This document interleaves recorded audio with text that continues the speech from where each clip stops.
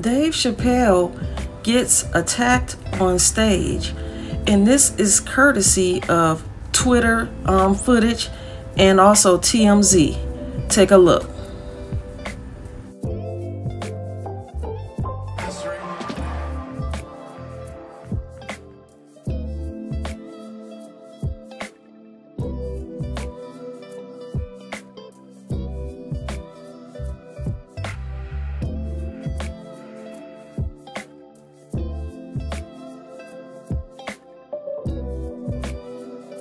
On my.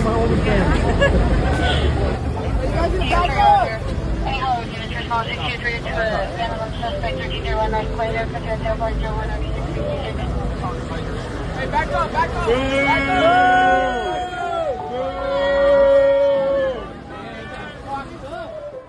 According to NBC News, a man who police said was armed with a fake gun rushed the stage and tackled Dave Chappelle as he was performing at the Los Angeles Comedy Festival late Tuesday.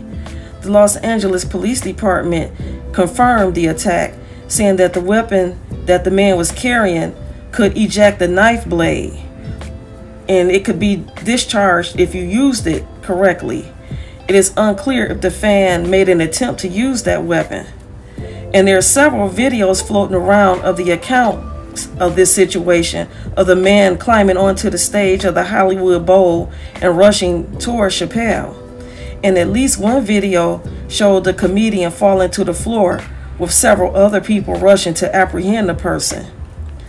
The attacker was a member of the audience and was detained by the venue's security team and later taken to the hospital with super, superficial injuries. And this is what the LAPD is saying.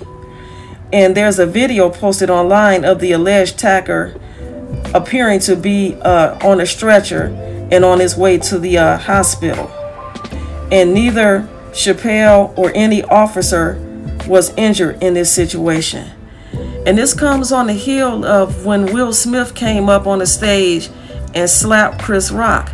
And I had a feeling when that happened that this was going to be a trend where people would just take liberty to walk up on the stage and attack comedians or performers. And it happened just like I thought it would.